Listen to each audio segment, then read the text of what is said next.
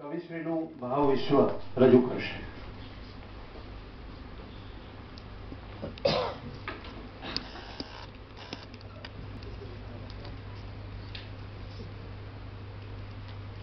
પ્રિય મંચ અને અતિ પ્રિય મનોજ પ્રેમ.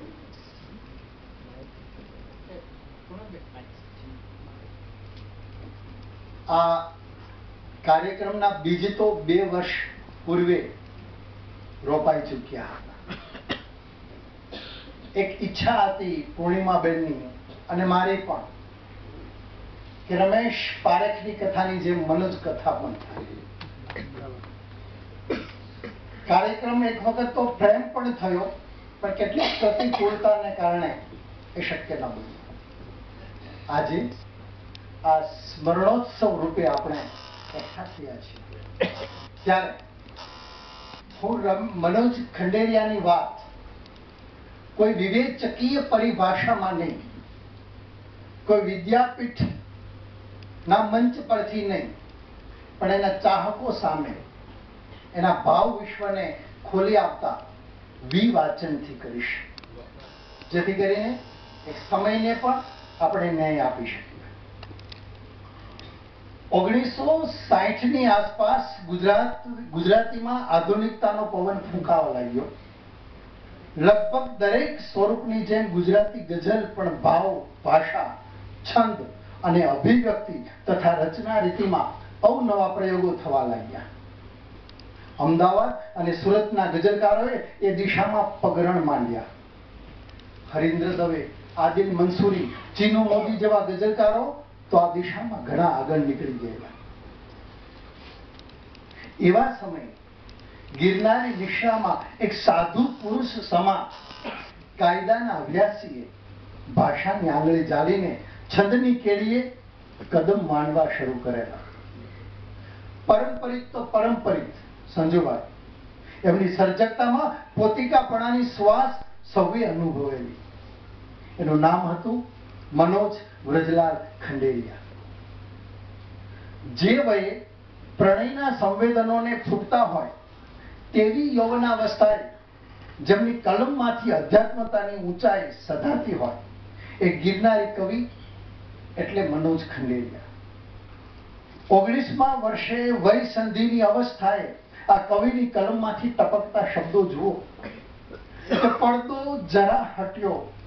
કે નયન બંધ થઈ ગયા. એનો પરમ ઉજાસ અમે લઈ શક્યા નહીં. ચીનુ મોદી અને આદિલ મંસૂરીની જેમ જ પ્રારંભે પરંપરિત ગઝલો લખતા શીખેલા આ કવિ પાંચેક વર્ષ એટલે કે પાસઠ સુધી પરંપરાની કેરીએ ચાલે છે. પણ પછીથી ત્રણેક વર્ષમાં ભાવ અને ભાષા સાથે અભિવ્યક્તિ રીતિથી ધ્યાન ખેંચે એવું કાઠું કાઢે છે. ઓગણીસો સિત્તેરમાં એમની પાસેથી મળતો પ્રથમ સંગ્રહ અચાનક એમના દસ વર્ષના કાવ્યનો હિસાબ આપે છે. આશરે પંચ્યાસી જેટલા કાવ્યોમાં બાવન તો ગઝલો છે આ સંગ્રહમાં. એમાં એમનું ભાવ વિશ્વ તપાસો તો તમને રદીપ તરીકે મળતા શબ્દો જ એનો વ્યાપ અને ઊંડાણ ચીંધી આપે. પીછું રેતી ખીણ આ ઘટા અવાજ, કાંઠો, ફીણ, દરિયો, ટબકો, ખેતર, પરપોટો જેવા સ્થળ વાંચી કે પદાર્થ વાંચી શબ્દોની સમૃદ્ધિ આપણે કવિના ભાવ વિશ્વમાં દોરી જાય. સંગ્રહનું પહેલું જ કાવ્ય પીછું જુઓ. મુસલસલ ગઝલમાં આલેખ હતું ને આકાર હતું પીછું. કેવા કેવા ભાવ કલ્પનોથી સમૃદ્ધ થાય છે. ગગન સાથ લઈ ઉતરે એ ફરકતું. વિહગ પાખથી જે ખરી જાય પીછું ફરકતું પડે ત્યારે ભૂરી હવામાં, ઝીણા શિલ્પ કઈ કોતરી જાય પીછું. પીછાનું શિલ્પ આપણા ચિત્ત પર મુલયમતાથી કોતરી આપતા કવિ એટલી જ મૃદુતાથી પીછા સાથે કાળને પણ સાંકળી આપે છે. હું તો છુપી છું કાળના પંખીની પાંખનો. સ્પર્શું છું આજ આભને કાલે ખરી જઈશ. પીછું અહીં માત્ર પીછું ન રહેતા માનવ અસ્તિત્વનો રાસ પણ સૂચવે છે.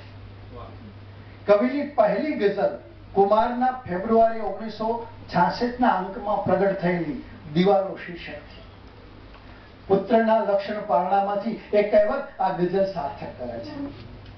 ભાવિ કવિની ઊંચાઈ અહીં આલેખાથી જોવા મળે સાહેબ. કે પડ્યા ગાબડા ને કથળતી દિવાલો, ગુફામાં હવે પાછી વળતી દિવાલો. જુનાગઢના વતનીને જુનાગઢ અતિ પ્રિય છે. ને એથીય પ્રિય છે ગીર, ગિરનાર ને સોરઠ ધરણી. જન્મભૂમિને આ કવિ અનહદ ચાહે છે. એ ત્યાં સુધી કે મુંબઈ ગયેલા કવિ દોઢ મહિને તો પાછા ગામ આવી પૂગે છે સાહેબ. પિતા મહેસૂલી અધિકારી રેવન્યુ ખાતામાં. આથી મેઘાણીની જેમ ગામે ગામના પાણી પીવાના થયેલા. મેઘાણીની જેમ જ હું આવું છું નો ભાવ અનુભવતા કવિ મહાનગર છોડી મુંબઈ પાછા ફરે છે. એ ગીર અને ગિરનાર એમની ગઝલમાં અભરે ચડે છે. કહો, આથી વધુ શું જિંદગીમાં જોઈએ બીજું? ગઝલ છે, ગીર છે, ગિરનાર છે, સોરઠની ધરણી છે. ક્યાંક વળી ગિરનાર કોઈ અદૃશ્યનો, અગોચરનો સંકેત રચી આપે છે. કે ગિરનારની શિલાઓ સજીવ બની ગઈ. એના ચરણ પસાર પસાર થયા હોય શક્ય છે. કવિના અસ્તિત્વમાં એકાકાર થઈ ગયેલા ગીર ને ગીરભૂમિ જુનાગઢ કવિતામાં આમ ઉતરે છે. રગરગમાં જુનાગઢને સેવતા આ કવિને, આ કવિએ નરસિંહને પણ એટલો જ આત્મસાત કર્યો છે.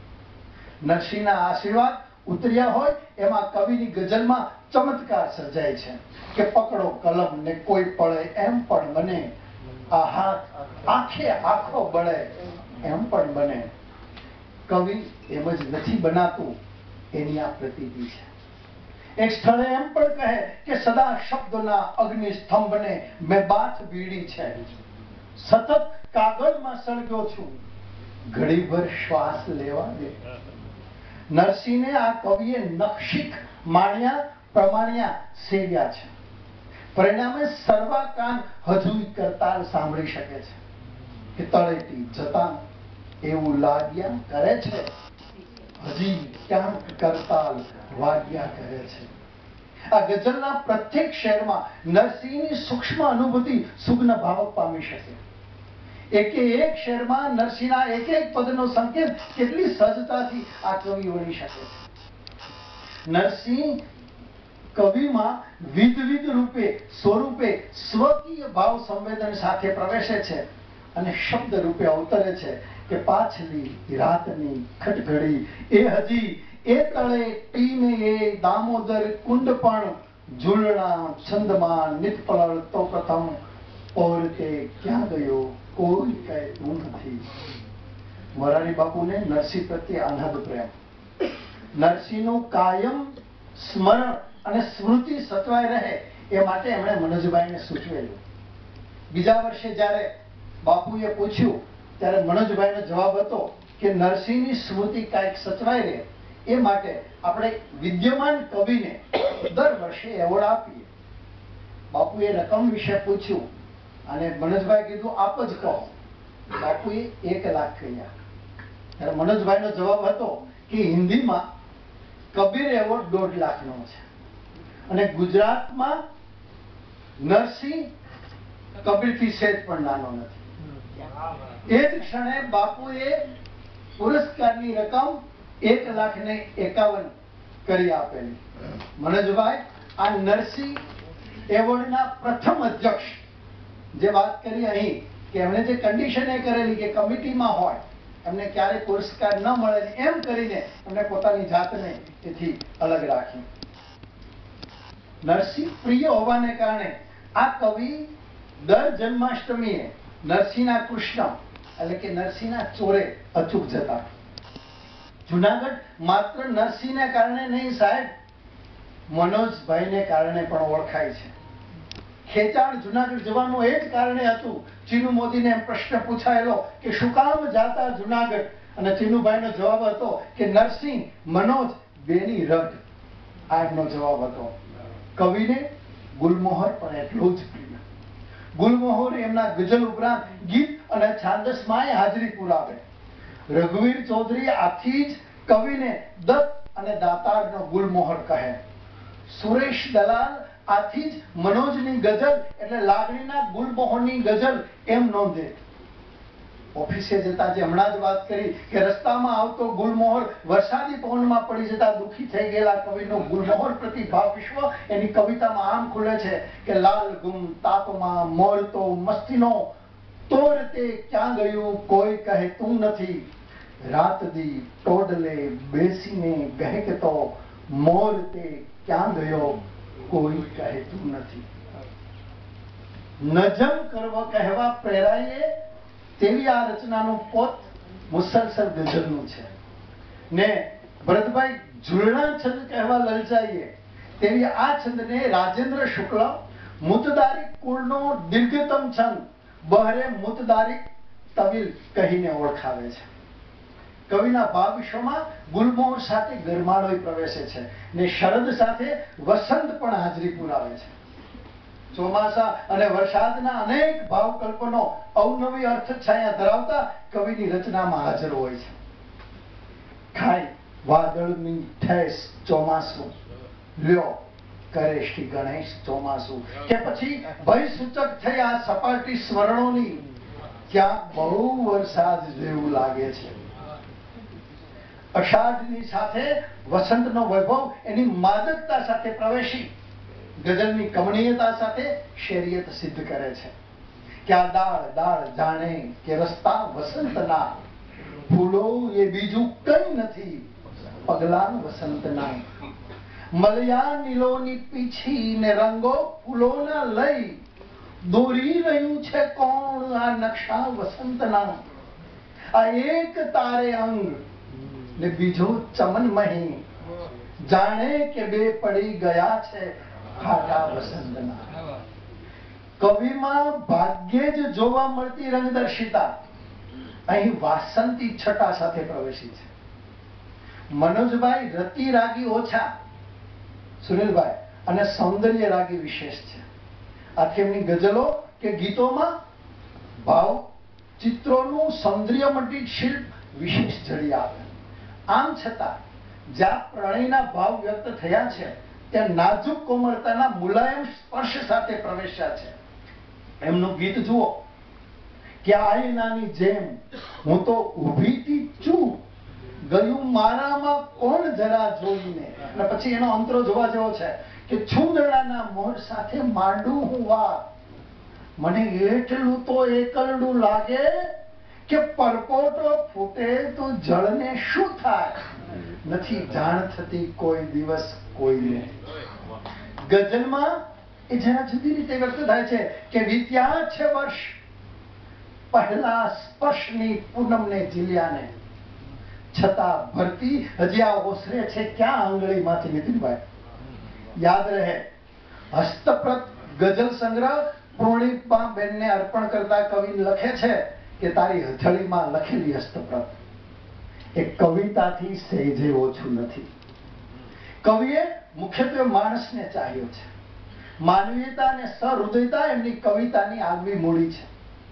આથી જ સાદગીના સૌંદર્યમાં એમના અંતરાત્માનો અવાજ શરીયતને સાચવતો ભાવને ઉર્ધ્વતા બક્ષે છે. કે ક્યારેય પાપ જેવું કશું પણ કર્યું નથી. એથી જ થોડો આપણે પથ્થર ઉપાડીએ.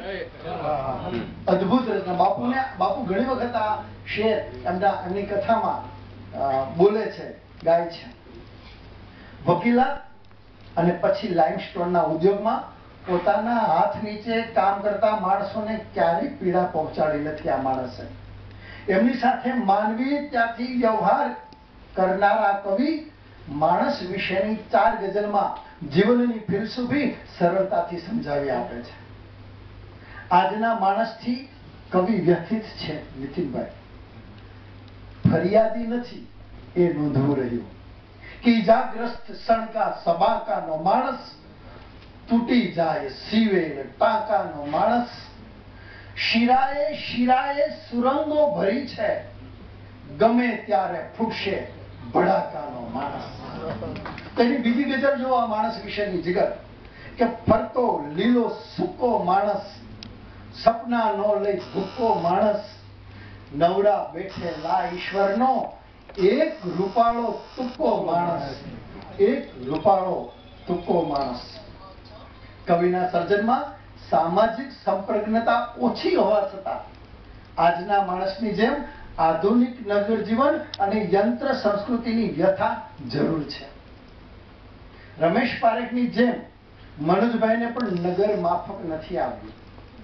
મુંબઈ ગયેલા સર્જક દોઢ મહિનામાં તો પાછા આવીને જુનાગઢ વસે છે. તો ઓગણીસો ને સત્યાસીમાં અમેરિકાની સાહિત્યિક સંસ્થાના નિમંત્રણે ત્રણ મહિના રહીને પાછા ફરતા આ કવિ પરદેશ ક્યારે નહીં જવાનો સંકલ્પ પણ કરે છે. અવાજોના જંગલની કાળી એકલતા કવિને દસે છે. આથી જ જાતને ઓગાળી નાખતા મીણના નગરમાં ચિતરિયા માણસ છે જીવવું કવિને માફક નથી આવ્યું. નગર સંવેદન કંઈક આ પ્રકારે એમની કવિતામાં પ્રગટ્યું છે મિત્રો. કે આ કઈ અસરમાં આપણે ભૂલા પડ્યા છીએ?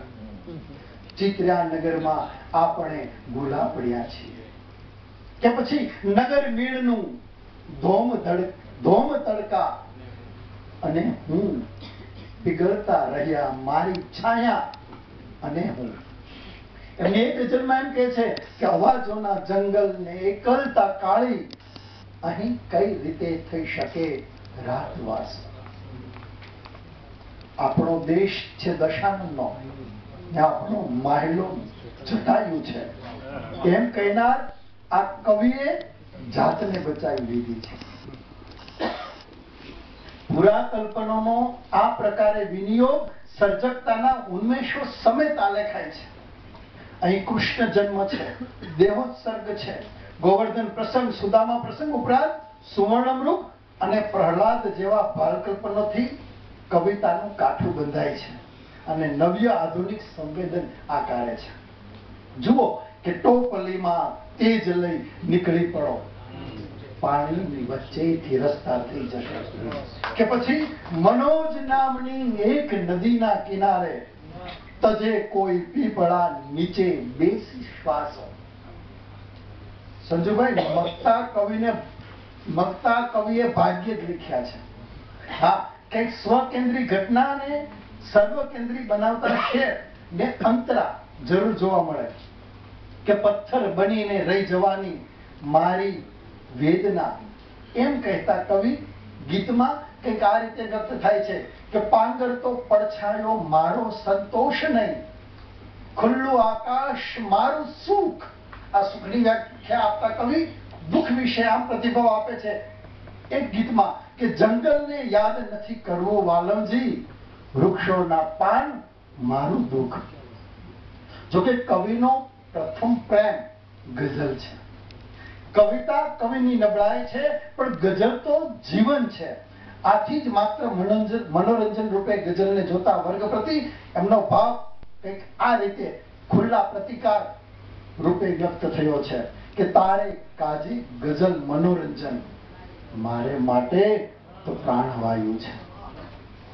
ગઝલ પ્રાણવાયુ રૂપે એમના અન્ય એક શેરમાં પણ રજૂ થાય છે કે જિંદગી દીધી નાશવંત મને, પણ ગઝલ રાખતી જીવંત મને. કવિના ભાવ વિશ્વમાં ગઝલ, કવિતા કે શબ્દ સર્જકતાની શરતે આવે છે. વસ્યા લોહીમાં, ગામ નવસો નવાણું કવિતા વગરનું ન એકેય થાણું કે પછી ક્યાંક એમ પણ કહે કે એક સારી કવિતા જન્મે તો વિશ્વ માટે વધાય છે પાનબાઈ આ એમની એક સારી કવિતા જન્મે તો વિશ્વ માટે વધાય છે પાનબાઈ કવિની મથામણ કવિતા સર્જવાની છે. ખુદની રીતે, ખુદની શબ્દ આથી જે કહી શકે છે આપણે આપણા શબ્દ ગાવા જમાનો બીજું કરે છે. ખુદની કેળીએ ચાલનારા આ કવિ માટે સર્જન પ્રક્રિયા નિજાનંદ માટે છે. એ કહે છે કે બે ઘડી આ ગઝલ ગમી તો બસ. દોસ્ત, અહીં થાવું છે અમર કોને? નામ કે માન સન્માનથી અલિપ્ત આ કવિએ ખુદની પ્રશસ્તિ જાતે તો ક્યારેય કરી નથી, કરાવી પણ નથી. કોઈને કરવા દીધી નથી. જુનાગઢના મિત્રોએ સુવર્ણ જયંતિ વર્ષ ઉજવવા ઈચ્છ્યું, ન ઉજવવા દીધું. ષષ્ઠી પૂર્તિ ઉજવવા ચાહી, સહમત ન થયા. એમનો પ્રતિભાવ શેરમાં આ રીતે ઉતરે છે, નીતિનભાઈ? કે સ્નેહના શબ્દનું વિમોચન શું? ભર ભર બજારે લીલામ રહેવા દે. અને પોતાની રચના વિશે પણ એમ કહે કે બે લખી ગઝલ, મોત શું મારી? તારી ક્યાં છે કમાલ? ભૂલી જા. આ દેખું મારી આ કવિમાં ગઝલિયત અને શેરિયત સાથે વ્યક્ત થાય છે. અને સભાન છે. એ સભાનતા જ એમની પાસે આવો શેર લખાવે કે સૌની વચ્ચે ગઝલ નથી કહેવી. મારશે કે વાહ વાહ મને. રાજેન્દ્ર શાહ યાદ આવી જાય કે જરાક દાદ દઈશ તો ગાઈશ બીજી ગઝલ. જો એક જ પ્રદેશના બે કવિઓનો વિરોધાભાસ. મનોજ એમ લખે કે સૌની વચ્ચે સૌની વચ્ચે ગઝલ નથી કહેવી. મારશે કંઈક વાહ વાહ મને. તો રાજેન્દ્ર એમ કહે કે જરાક દાદ દઈશ તો ગાઈશ, બીજી ગઝલ. તરત રીજી જાઓ. એવો આશુતોષ આ આ સભાન કવિને આઈઆઈટી તરફથી કલાપી એવોર્ડ મળેલો. પુરસ્કારની રકમમાં બીજી ઉમેરી ગુજરાતી ભાષાના પ્રથમ ગઝલકાર બાલાશંકર કંથારિયાની સ્મૃતિ કાયમ ટકી રહે. એ માટે એમને કહેવા સૂચવ્યું. હિન્દીના કવિ મધુ કાબડાએ પકડો કલમને. એ ગઝલનો હિન્દી અનુવાદ કરીને પોતાના નામે સમાજ દર્શનમાં છપાવી મારે. મિત્રોએ કીધું કે લીગલ નોટિસ આપીને કોપી કેસ અલગ કોપીરાઇટ ભંગનો કેસ કરીએ. આ વકીલ ચૂપ રહ્યા. કદાચ એમનો ભાવ કંઈક આવો હશે. એમ થોડા કબીર થવાના એ ચાદર વણે તો વણવા દે. રમેશ યાદ આવે કે સાંઈ તને જો રંગની ખબર લગી રહો તું પણ વણે છે વસ્ત્ર તું પણ કબીર હો સંપત્તિ અને સર્જકતાની સમૃદ્ધિ વચ્ચે પણ આ કવિ તટસ્થ અને સંયમી રહી શક્યા છે. એમને હું એમનું આ ફકીરીપણું એમની કવિતામાં પણ ડોકાય છે કે આ ખાલી ખાલી પાની ખલક લઈ હરી ભરી કઈ ફાટ ફાટ થતી ફકીરાઈમાં ઊભા બે હજાર ત્રણના ફેબ્રુઆરીમાં અન્નળીનું ઓપરેશન થયા બાદ બહાર આવ્યા. ત્યારે જન્મ મરણ અને પુનર્જન્મની પુખ્ત સંમતિ સાથે એ શેર આપે છે કે ખબર પડતી નથી કોની રહમ લઈ પાછો ફર્યો છું, પાછો આવ્યો છું. મરણ પામ્યો નથી, કિંતુ જન્મ લઈ પાછો આવ્યો છું. મરણને જાણી ચૂકેલા કવિ મુક્તિની વાત મોકળાશની ભાષામાં કહે છે કે કંઈક જળહળ જળહળ જેવું છે. દરવાજો ખોલ. આ મરવું ઝાકળ જેવું છે. દરવાજો ખોલ. તે જ હશે કે જર્મર સૌરભ? કોણ હશે આ?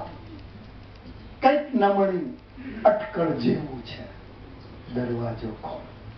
મનોજ, અચાનક આપણને સૌને એમના વિશે નમણી અટકળ મૂકીને, અટકળ કરતા મૂકીને ચાલી નીકળ્યા. હવે એમના કાવ્યોની હસ્તપ્રત આપને મૃત્યુ વિશેની સમજ આપતા કહે છે કે ઘટનાને કોઈ કહી દેશે મૃત્યુ. અલગ થઈ જતી મારી કાયા ને હું. કવિને સંકેત મળી ગયેલો સાહેબ, દૂરના ખેંચાણનો. અને કદાચ આથી જ સ્વજનોને સંબોધીને એમણે કહ્યું હશે કે ખીલા જેમ ખોડો ન ઉખડી જઈશ હું. મને ક્યાંક આગેનું પરિયાણ ખેંચે. ખૂટતા શ્વાસ અને ઘડતા આયુષ્યથી માણસના અસ્તિત્વનો થતો રાસ કવિ શેરિયત સાથે સિદ્ધ કરે છે કે શ્વાસના ધારધાર ચપ્પુથી આ હવા મારું હોવું છોલે છે. મનોજ, આપણી આંખોમાં વિનાશ છોડી જતા રહ્યા. ચિત્રાત્મકતાના ભરપૂર અંશોને શબ્દમાં સજીને રમણીય ભાવો ના ચિત્રો આપીને આપણને સતત થયા કરે છે. હજી ક્યાંક કરતાલ વાગ્યા કરે છે. એ જાજુ જીવ્યા હોત તો માધાવાવ ને શાહ મૃગો જેવા દીર્ઘ કાવ્યો બીજા મળત ગઝલની ઊંચાઈ હજુ સિદ્ધ થાય. ગીતોની કુમાશ વધુ મુલાયમતાથી સ્પર્શક એમણે કહેલું, આજે સત્ય સાબિત થયું છે. કે મારો અભાવ મોરની માફક ટહુકશે ઘેરાશે વાદળો અને હું સાંભળી જઈશ. આભાર. અકાદમીનો આગો આભાર. આયોજકોનો આભાર. રાજકોટના મનોજ પ્રેમી જનતાનો. Thank you very much